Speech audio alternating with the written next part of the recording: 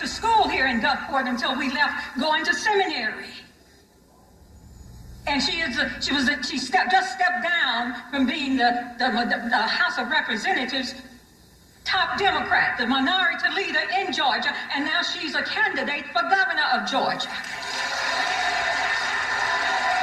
And, and, and, and you, you, you might have seen her, but uh, on TV, and, and she, she's, she gets in trouble too, just like Sonia does. She, she's trying to get them to, to take down those statues of Stone Mountain, those, those racist things. And, and, and, the flag. But then when she was at Spelman College, she went on the steps of the Capitol and burned the Georgia flag. I don't know if they know about that or not. you have to love a mom. Yeah, she's clearly proud of her daughter, uh, and I don't blame her. Stacey Abrams has accomplished much. Uh, and, and, again, I'm not going to make an issue about the flag. I think it's a non issue.